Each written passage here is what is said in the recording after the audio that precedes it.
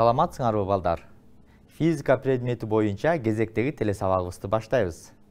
Албетте адаттагыдай эле буга чейин өтүлгөн теманы кайталоо менен жаңы темада өтмөкчүбүз андыктан баарыңар дептер калемсаптарыңарды даярдап экранга жакыныраак отурушуңарды суранамын келгиле силер менен бирдикте алгач буга чейин өтүлгөн термодинамиканын закондору боюнча бир сыйра кайталоо жүргүзүп алалы. Термодинамиканын биринчи закону менен тааныштык өткөн сабагыбызда жана ошондой эле балдар термодинамиканын биринчи законунун математикалык туюндурулушу туурасында толук түшүнүк алганбыз.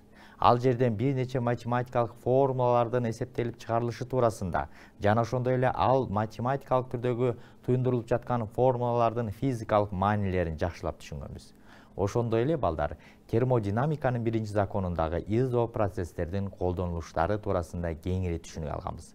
Ал процесстер изобаралык процесс изотермалык процесс жана ошондой эле изохоралык процесс анан эң акыркы процесс? Бул балдар адиабаттык процесстер болгон. Демек бул процесстердин баардыгына бирден токтолгонбуз жана ошондой эле ал процесстердеги математикалык түрдө туюндурулуп жаткан формулалар туурасында толук түшүнүк алганбыз. Эмесе балдар кийинки сабактарыбызда дагы термодинамиканын биринчи законунун изопроцесстерде колдонулушундагы ошол процесстердин математикалык түрдө туюндурулуп жаткан формулаларын пайдалануу менен дагы маселе чыгарабыз алдыңкы сабактарыбызда азаматсыңар балдар мен ойлоймун бул берилген сабактын баардыгын жакшылап окуп түшүндүк деп жана ошону менен бирдикте албетте мен силерге сабагымдын аягында айткандай ар бирибиз өз алдыбызча даярданууну унутпайбыз деп баса белгилеп айтып өткөнмүн.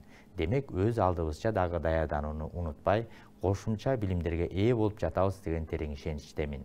Анда эмесе балдар мен бүгүнкү сабагымды ушул жакшы сөз менен баштагым келди. Жашоону жакшы көрсөң убакытты бош өткөрбө. Анткени убакыт жашоонун дал өзү дейт балдар. Демек баарыбыз тең биздин ушул өтүп жаткан убактыбызды жакшы жана ошондой эле пайдалуу багыттарга жумшооңарды суранмакчымын. Себеби биз жашап жаткан бул өмүрүбүз жана ошондой эле бул убактыбыз бул жаштыгыбыз тактап айтканда кайра артка кайтпайт экендиги туурасында баарыбыздын маалыматыбыз бар. Себеби балдар бул бүгүнкү сабагыбыз мынакей ушул жакшы улуу сөзгө байланыштуу. Анда эмесе бүгүнкү сабагыбыздын темасын тааныштырайын бүгүнкү сабагыбыздын темасы балдар. Кайталануучу жана кайталанбоочу процесстер. Жылуулук кыймылдаткычтары болмокчу бүгүнкү сабагыбыздын жүрүшүндө балдар. Кайталануучу процесс эмне экендиги туурасында жана кайталанбоочу процесс кайсы экендиги жөнүндө деги эле биз жашап жаткан бул жашоодогу кайталануучу жана кайталанбоочу процесстердин айырмасын жана алардын физикалык маанисин түшүнөбүз ошондой эле жылуулук кыймылдаткычтары жөнүндө толук түшүнүк алмакчыбыз. Мен ойлоймун балдар бүгүнкү сабагыбыз башка сабактардан айырмаланып абдан кызыктуу болот деп.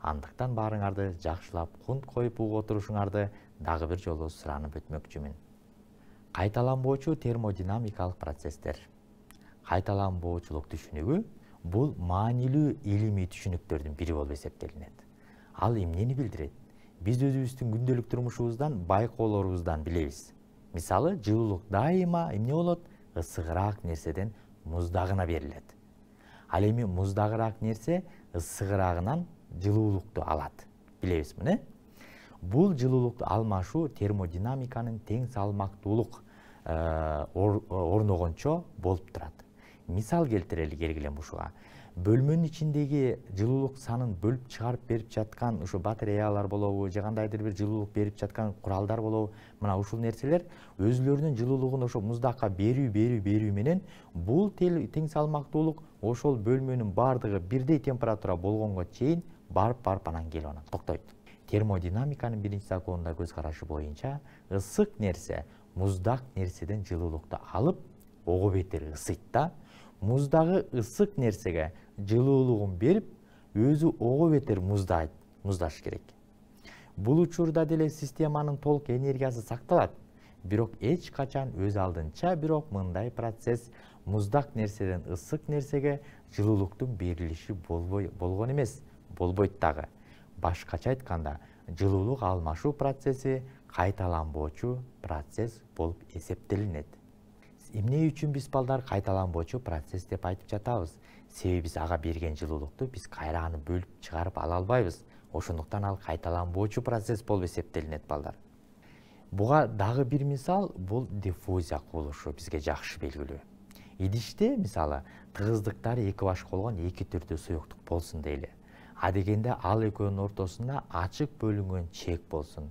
Бир аз убакыттан кийин диффузиянын натыйжасында эки суюктук аралашып тең салмактуулук түзүлөт. Дагы тыгыздыгы баардык жеринде бирдей болуп калат тескери процесс бул эки суюктуктун кайрадан өз өзүнчө бөлүнүп баштапкы абалына келиши мүмкүн эмес ошентип диффузия кубулушу дагы кайталанбоочу процесстерге мисал болуп бере алат экен мисалга ала турган болсок биз бул стакандагы суюктукка кандайдыр бир боекту тамызчылата турган болсок ал боек ошол стакандын бүткөн боюн бүт ээлеп өзүнүн боегу ошол э, түскө боелуп калгандыгын көрөбүз ал суюктукту бирок кайсы бир учурда биз кайра керек болгондо биз ал боекту бөлүп ала албайбыз да ал суюктуктан туурабы демек бул кайсы процесс болуп эсептелинет экен?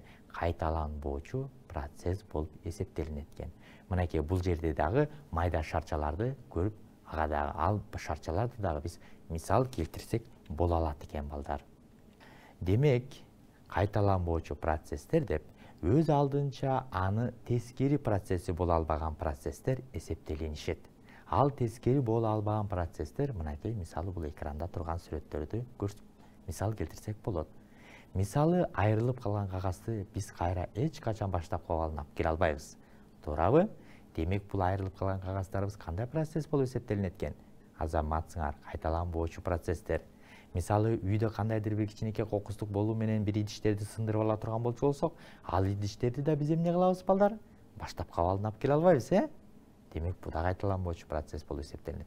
Жана ошондой эле биздин бул жашап жаткан өмүрүбүз мисалы мисалы биз эгерде азыр э, силер булар силер бир он жети жаштагы өспүрүмдөрсүңөр бирок кайсы бир учурда кайра он жети жашка келе албайсыңар да. Туурабы демек бул биз жашап жаткан өмүрүбүз дагы бул кайталанбоочу процесстер болуп эсептелинет экен ал эми кайталануучу процесстер мисалга ала турган болсок алар бул мезгилдер болуп эсептелинет кыш жаз жай күз. Алардын алмашуусу кайра кайталанып ошол күндөрдүн келүүсү жана ошондой эле бул ушу календарь күндөр э булардын баардыгы кайталануучу процесстер болуп эсептелинет мисалы биз былтыр деле ушундай э, учурда ушундай кышында ушундай э, январда жашап көргөнбүз дегенде быйыл деле ошондой кышында ошондой январда жашап жашап жатабыз. Бирок жашыбыз ага дал келген жок э? Кайра артка кайткан жок тескери процесс боло алган жок. Процесс кайталануучу болсун үчүн эмне кылуу керек деген суроо да пайда болот. Мисалы тактага түшкөн шариктин учурунда ага кандайдыр бир энергиянын булагын бириктирүү керек. Ал булактын энергиясы сүрүлүү күчүнүн жумушуна корогон энергиянын бөлүгүнө шар менен тактанын орто урунушу учурундагы деформациялоонун натыйжасындагы ички энергияга айланган энергиянын бөлүгүнө да жеткендей болушу керек. Башкача айтканда ошол тактайга урунган шардын жогору карай кеткен кыймылы бөлүкчөсү болуп эсептелинген татаал процессти ишке ашыруу керек экен карагалачы бул өзү татаал процесс болуп эсептелинет экен балдар. Ошондой эле температурасы төмөн нерседен температурасы жогору болгон нерсе. Жылуулуктун берилиши да ишке ашырууга болот. Бирок ал үчүн энергияны берүүчү атайын түзүлүш керек. Башкача айтканда муздагыраак нерседен ысыгыраак нерсеге жылуулукту берүүнү ишке ашыра турган бөлүкчө бөлүккө ээ болуучу татаал процесс ишке ашыруу керек.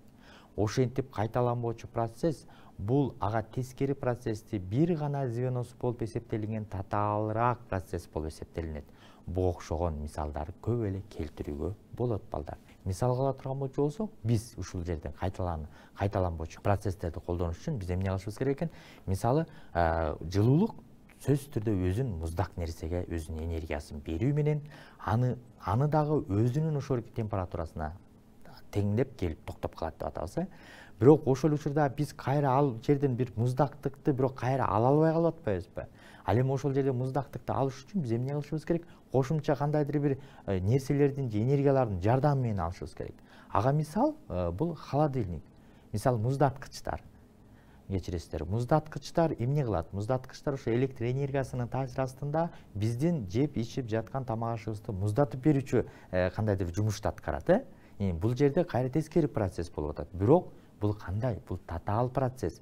Эмне үчүн себеп дегенде ал кандайдыр бир кошумча энергиянын таасири астында бизге жумуш аткарып берип жаткандыктан бул балдар татаал процесс болуп эсептелинет татаал тескери процесс болот да бул эмесе келгиле балдар жылуулук кыймылдаткычтарына токтололу илимий техникалык ушу э, прогресстин негизги багыттарынын бири болуп балдар энергетиканы ошондой эле жылуулук энергетика энергетикасын өнүктүрүү эсептелинет. Жылуулук энергетикасы бул нерселердин ички энергиясын пайдаланууга байланышкан эл чарбачылыгынын бир тармагы болуп эсептелинет ал эми нерселердин ички энергиясын пайдалануу үчүн ошол энергиянын эсебинен жумуш аткара алуучу атайын түзүлүштөр болуусу зарыл.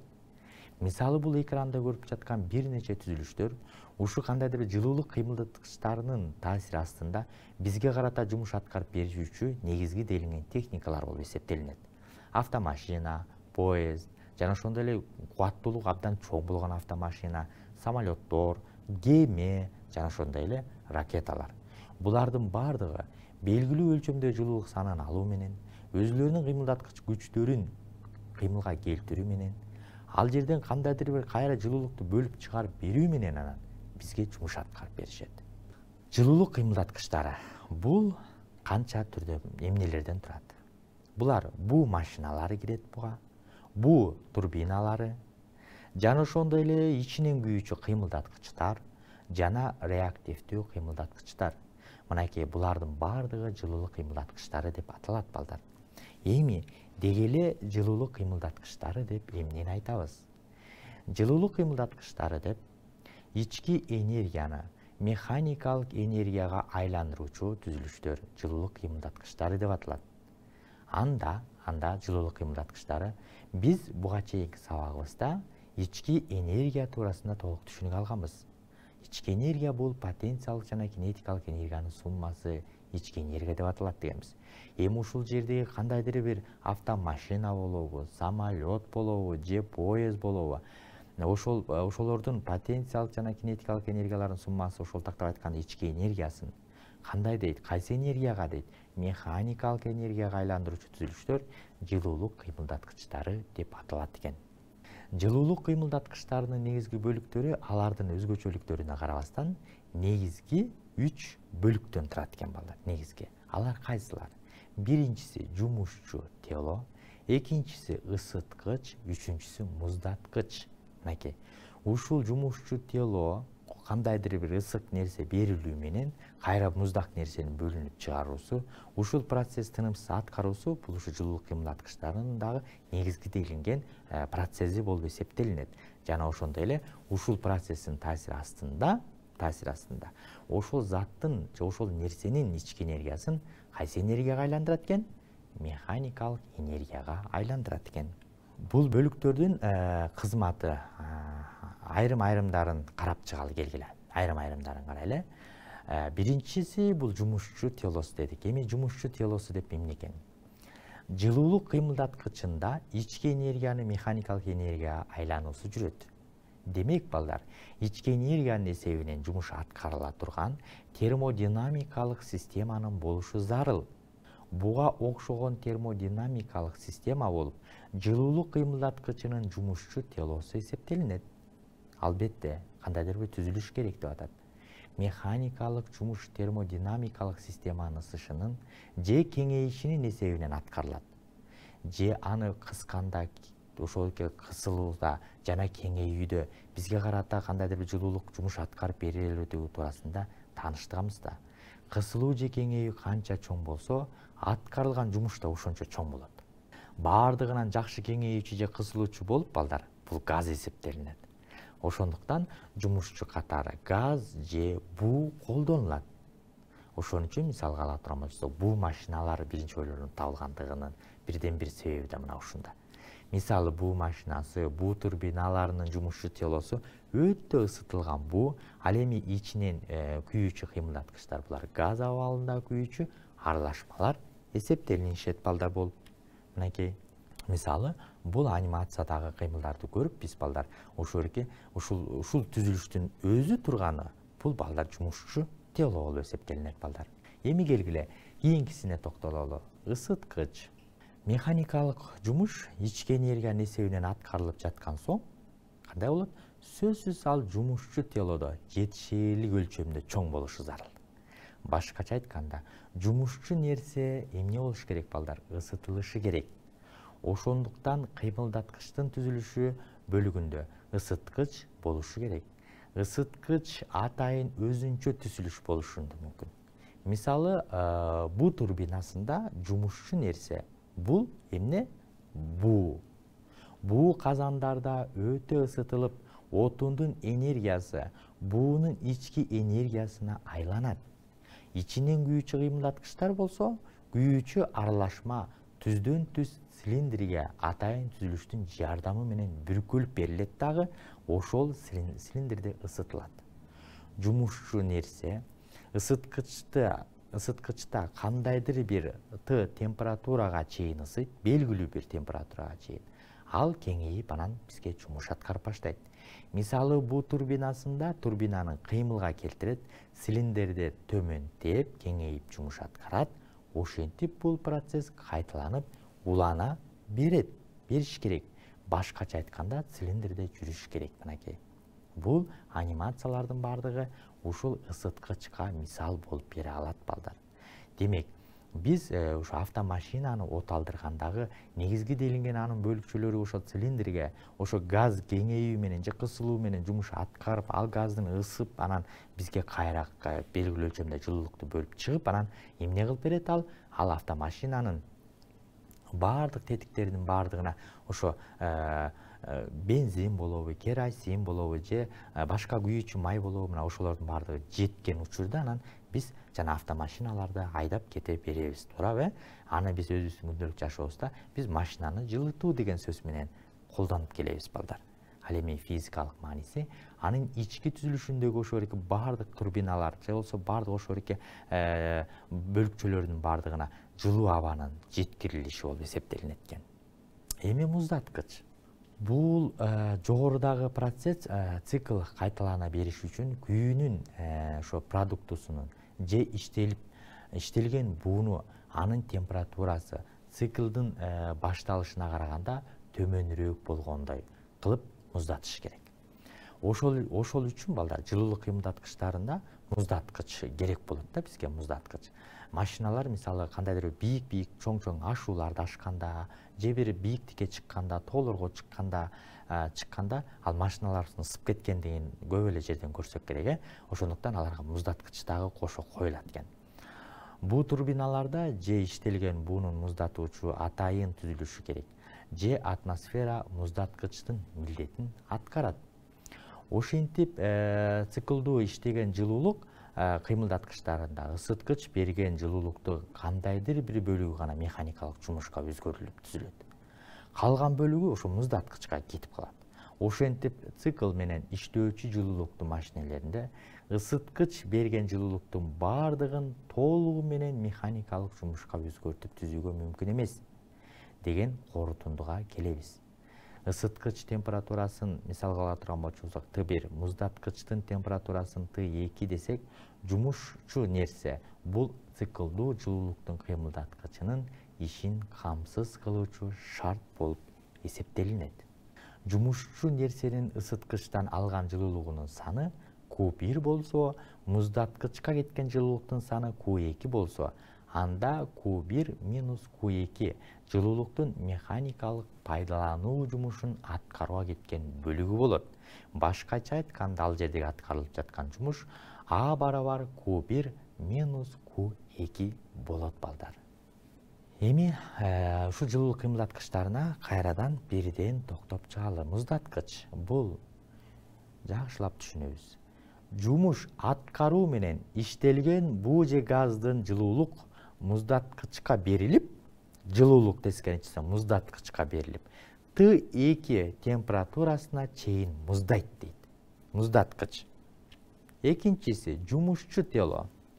Өтө ысытылган буу газ абалында күйүүчү аралашма. Бензин ага керосин аралашмалары кирет. Өтө ысытылган. Үчүнчүсү ысыткыч. Бул жумушчу нерсе ысыткычта жумуш аткарганга чейин т бир температурасына чейин ысыйт экен көрдүкпү ысыткыч демек балдар жылуулук кыймылдаткычтарындагы муздаткыч жумушчу тело ысыткыч туурасында мынакей ушул аныктамаларды дептерлерибизге дагы жазып алабыз. Жана ошондой эле бул мисалдарды аныктамаларды жазып алган соң кунт коюу менен өз алдыбызча дагы бир нече жолу окуп чыгуу менен күндөлүк жашоодун кай жерине кездешип жаткандыгын өз алдыбызча анализ жүргүзүп койсок бул жердеги жылуулук кыймылдаткычтарындагы муздаткыч жумушчу тело жана ысыткыч туурасында кененирээк жакшынакай жакшы билимге ээ болгон болобуз балдар француз окумуштуусу инженер э, сади карно жылуулуктун машинасын өркүндөтүүнүн үстүндө көп эмгектенген ошондуктан балдар карно циклы тактап айтканда айланма кайталанма жылуулук процесси мында жылуулуктун кандайдыр бир бөлүгү термодинамикалык кайталануу жолу менен ысыткычтан муздаткычка кетип турат. Жылуулук кыймылдаткычтарын курууда отунду эң аз сарп кылып максималдуу жумуштун аткарылышына жетүүшү аракет кылат жетишүүгө. Бул жөнүндө балдар жетинчи классыбызда биз сегизинчи классыбызда биз караганбыз кыймылдаткыч ошондо гана үнөмдүү боло алат ысыткычтын жумушчу телого берген жылуулугунун саны жана механикалык энергияга айланган жылуулук саны тактап айтканда q бир минус q эки санын билип бул айлануу процессинин үнөмдүүлүк даражасын баалоого болот балдар.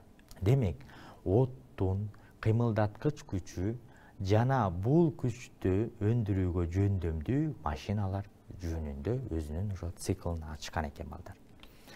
Эмесе келгиле пайдалуу аракет коэффициенти пайдалуу аракет коэффициенти балдар биз бүгүнкү өтүп жаткан темабызга байланыштуу бул энергиянын берилишиндеги жана өзгөртүп түзүлүшүндөгү системанын эффективдүүлүгүнүн мүнөздөмөсү болуп эсептелинет пайдалуу аракет коэффициенти кыскартып биз балдар чоң тамгалар менен пак деп жазып коебуз пак система тарабынан аткарылган пайдалуу жумуштун системага берилген жалпы энергиясына болгон катышына барабар болуп эсептелинет эми пайдалуу аракет коэффициенти гректин кайсы тамгасы менен белгиленет белгиленет келгиле чогуу карайлы гректин эта тамгасы менен балдар. Н ню. Анда а мисалы п бул пайдалуу жумуш барабар болот экен q бир минус q экиге туурабы бул жерден пайдалуу жумуш аткарылды өзүнүн ошол жылуулугун берүү менен биз буга чейин караган формулада. Анда анда.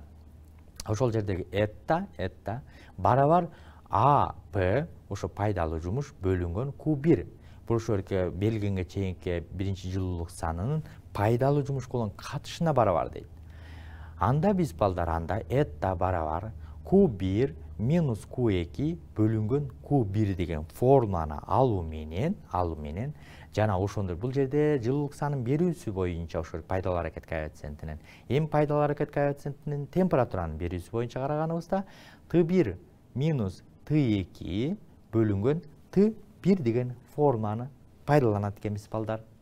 Келгиле балдар анда эмесе бүгүнкү сабагыбызды жыйынтыктайлы.